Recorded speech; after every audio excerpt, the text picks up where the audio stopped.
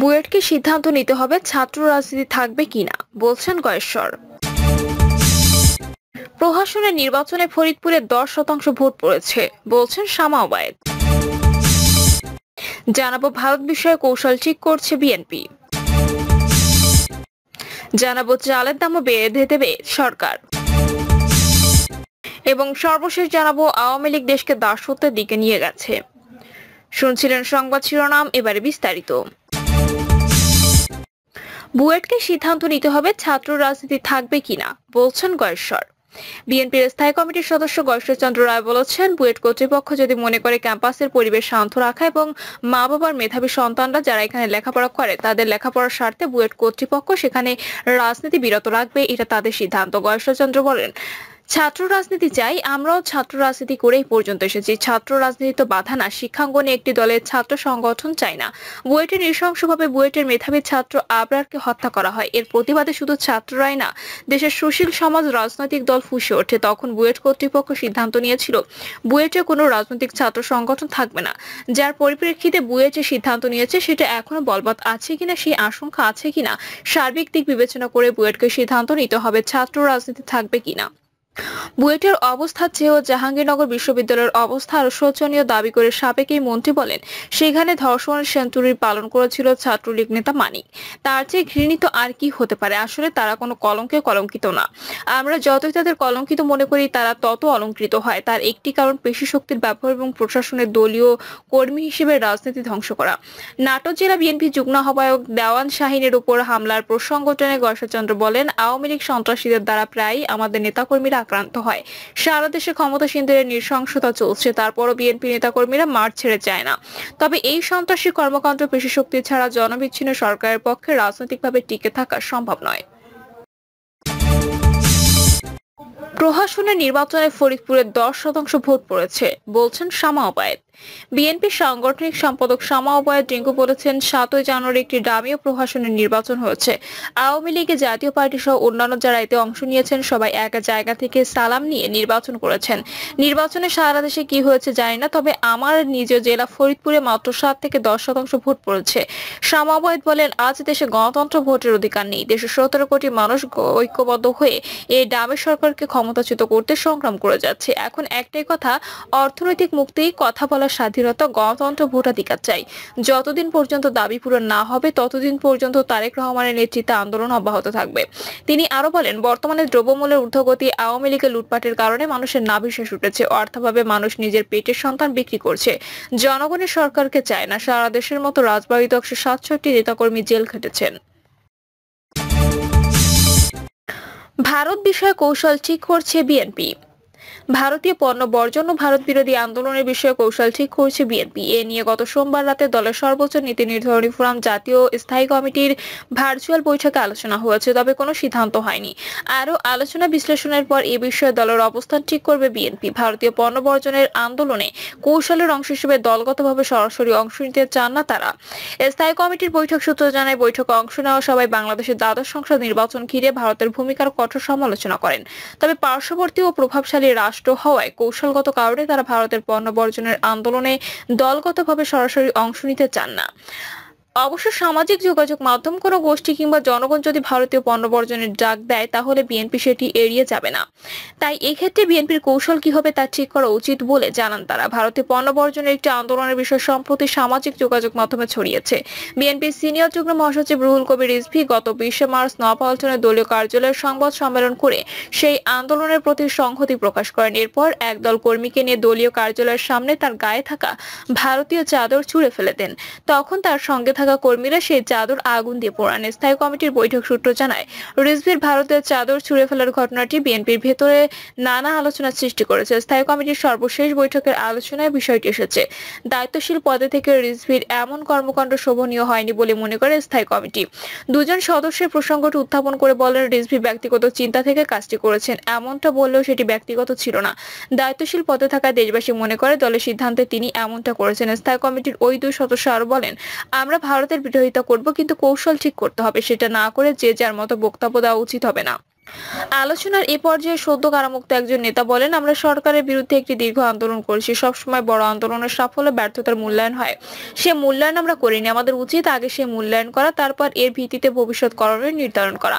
আমরা যদি ভারত বিরোধিতা করি তাহলে তার কৌশল কি হবে সেটা নির্ধারণ করতে হবে এটা নিয়ে আগামীতে পরিপূর্ণ আলোচনা হওয়া উচিত তফসিল ঘোষণার পরিপ্রেক্ষিতে বৈঠকে আসন্ন উপজেলা পরিষদ নির্বাচন নিয়েও আলোচনা হয়েছে নেতারা বলেন দলীয় সরকারের অধীনে জাতীয় নির্বাচন বর্জনের চার মাসের মধ্যে সরকারের অধীনে দলীয়ভাবে উপজেলা নির্বাচনে যাওয়ার কোনো সুযোগ নেই বিএনপি যেসব কারণে সাতই জানুয়ারি জাতীয় নির্বাচনে অংশ নেয়নি সেগুলো এখনো বিদ্যমান রয়েছে তবে দলের কেউ স্বতন্ত্রভাবে নির্বাচনে অংশ নিলে তার বিরুদ্ধে বহিষ্কারের মতো কঠোর সাংগঠনিক ব্যবস্থা নেওয়ার বিপক্ষে মত দেন স্থায়ী কমিটির এক সদস্য তবে তার ওই বক্তব্যে অনেকেই সায় দেননি সেক্ষেত্রে ওই সরকারের অধীনে আর কোনো নির্বাচনে না যাওয়ার সিদ্ধান্তে বহাল রাখা হয়েছে বলে জানা গেছে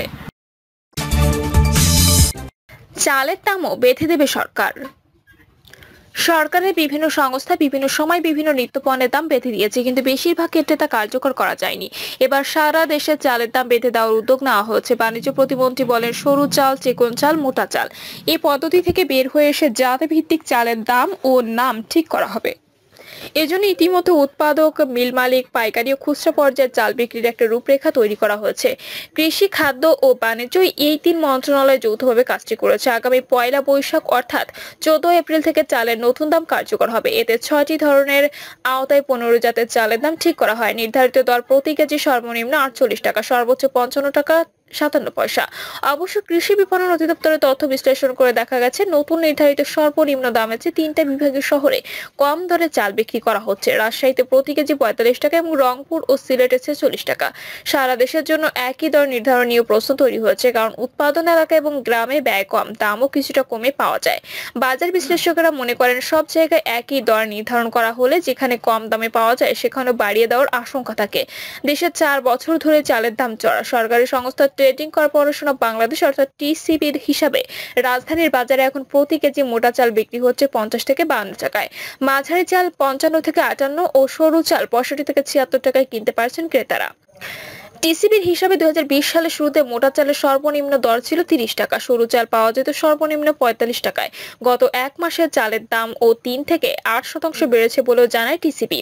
দেশে চার বছর ধরে চালের দাম চড়া টিসিবির হিসাবে রাজধানীর বাজারে এখন প্রতি কেজি মোটা চাল বিক্রি হচ্ছে পঞ্চাশ থেকে বান্ন টাকায় মাঝারি চাল পঞ্চান্ন থেকে আটান্ন সরু চাল পঁয়ষট্টি থেকে ছিয়াত্তর টাকায় কিনতে পারছেন ক্রেতারা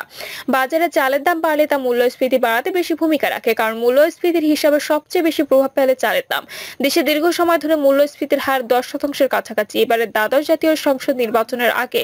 ঘোষণা করা হয় আওয়ামী লীগের নির্বাচনী ইস্তেহারে মূল্যস্ফীতি নিয়ন্ত্রণে অগ্রাধিকার দেওয়া হয়েছিল নতুন সরকারের মন্ত্রীরা মূল্যস্ফীতি নিয়ন্ত্রণে জোর দেওয়ার কথা বলেছেন বাংলাদেশ ব্যাংক মূল্যস্ফীতি কমাতে ব্যাংকের ঋণের সুদের হারের উপর নিয়ন্ত্রণ শিথিল করেছে ফলে সুদের হার বেড়ে সাড়ে তেরো শতাংশ ছাড়িয়েছে কিন্তু মূল্যস্ফীতির হার এখনো উচ্চই রয়ে গেছে গত ফেব্রুয়ারিতে মূল্যস্ফীতি ছিল সাড়ে নয় শতাংশের বেশি এমন পরিস্থিতি দ্রব্যমূল্য বাজার পরিস্থিতি পর্যালোচনা বিষয়ক টাস্ক ফোর্সের বৈঠক হয় এতে বাণিজ্য সচিব Tapan Kanti Ghosh Bangladesh trade and tariff কমিশনের চেয়ারম্যান আহমেদ মুনিরুস সালেহীন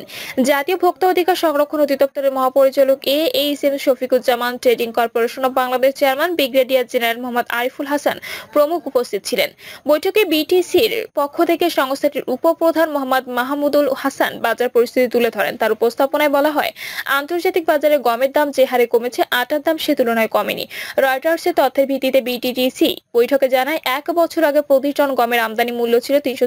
মার্কিন ডলার গত উনত্রিশে মার্চ প্রতি টন গমের আমদানি মূল্য ছিল দুশো ডলার অবশ্য বিটিটিসি আরও জানায় কিছু কিছু পণ্যের দাম রমজান মাসের শুরুর দিকে যা ছিল তার চেয়ে এখন কমেছে বিষয়টি নিয়ে বাণিজ্য প্রতিমন্ত্রী সাংবাদিকদের বলেন প্রথম রমজানে স্থানীয় বাজারে নিত্য পণ্যের যে দাম ছিল ধারাবাহিকভাবে তা কমেছে আন্তর্জাতিক বাজারের যে অবস্থায় হোক আগামী কোরবানের ঈদ পর্যন্ত পণ্যের সরবরাহ ব্যবস্থায় কোনো সমস্যা হবে না তিনি নিয়েও কোনো সমস্যা নেই কৃষির যে পণ্যের বাজার দর অনেকটা যোগ যৌক্তিক পর্যায়ে চলে এসেছে উল্লেখ করে প্রতিমন্ত্রী বলেন ভারত থেকে পেঁয়াজ আসছে এক হাজার ছশো পঞ্চাশ টন পেঁয়াজ গতকাল রাতে দেশে আসার কথা বাণিজ্য প্রতিমন্ত্রী সন্তোষ প্রকাশ করলেও টিসিবির তথ্য বলছে গত বছরের এই সময়ে তুলনায় বিভিন্ন দাম অনেকটাই বেশি যেমন বাজারে পেঁয়াজের দাম সাম্প্রতিক কালে কমেছে বিক্রি হচ্ছে পঞ্চাশ থেকে ষাট টাকায় যদিও গত বছর ওই সময় পেঁয়াজের কেজি ছিল তিরিশ থেকে চল্লিশ টাকা আলুর দাম গত বছরের চেয়ে এখন একাশি শতাংশ বেশি বাণিজ্য মন্ত্রণালয় সূত্রে চালের নির্ধারিত দরের একটি তালিকা পাওয়া যায় এতে দেখা যায় সরকার মূলত বোরো ও আমন মৌসুমে উৎপাদিত মোটা ও মাঝারি চালের দাম নির্ধারণ করতে যাচ্ছে এই দুই মৌসুমে দেশে সবচেয়ে বেশি চাল পাওয়া যায় আউশে কম দাম নির্ধারণ হবে জাত ভিত্তিক যেমন বড় মৌসুম উৎপাদিত hybrid Heera S L H আট ব্রি হাইব্রিড জাতের চালের দাম হবে প্রতি কেজি সর্বোচ্চ আটচল্লিশ টাকা এক পয়সা মন্ত্রণালয় বৈঠক উৎপাদন মূল্য মিল মালিক পাইকারি ও খুচরা পর্যায়ে দাম নির্ধারণ করা হয়েছে মিল মালিকেরা এখন নিজেদের ব্র্যান্ডের নামে বিভিন্ন জাতের চাল বাজারজাত করেন অভিযোগ আছে বিভিন্ন জাতের চালকে কিছুটা ছেটে মিনিকেট নামে বিক্রি করা হয় বাজারে জনপ্রিয় সরু এই চালের দামও বেশি বিভিন্ন কোম্পানি নানা মোড়কে এই চাল বিক্রি করে তারা দাম বাড়িয়ে দেয় তাই আগে থেকে এসব দাম বাদ দিয়ে ভিত্তিক নাম চাল বিক্রির উদ্যোগের কথা বলা হচ্ছিল এখন প্রশ্ন হলো যেসব চালের দাম নির্ধারণ করা হবে তার মধ্যে সরু চাল থাকবে কিনা এখন পর্যন্ত যে পনেরো জাতের চালের কথা বলা হয়েছে তার মধ্যে নাজির সাইল জিরা সাইল সহ বিভিন্ন সরু চাল নেই সরু চাল তালিকায় থাকবে কিনা তা নিয়ে কৃষি সচিব ওয়াহিদ আক্তারের কাছে গতরাতে মুঠোফোনে জানতে চাওয়া হলে তিনি বলেন তা এখনই বলা যাচ্ছে না তবে সময় মতো চমকটা দেবে বাণিজ্য মন্ত্রণালয় চালের দাম দাম নির্ধারণ নিয়ে পুরো বিষয়টি বোঝার জন্য গতকাল বাণিজ্য সচিব তপন কান্তি ঘোষণের সঙ্গে যোগাযোগ করা হলে তিনি বলেন এ বিষয়ে কৃষি মন্ত্রণালয়ে তেসরা এপ্রিল আরেকটি বৈঠক হয়েছে সেখান থেকে সবকিছু উঠে আসবে বলে তিনি আশা করছেন প্রিয় দর্শক এই ছিল এখনকার সর্বশেষ সংবাদ আপডেট সব সংবাদ পেতে চ্যানেলটি সাবস্ক্রাইব করে বেল আইকনটি ক্লিক করে রাখুন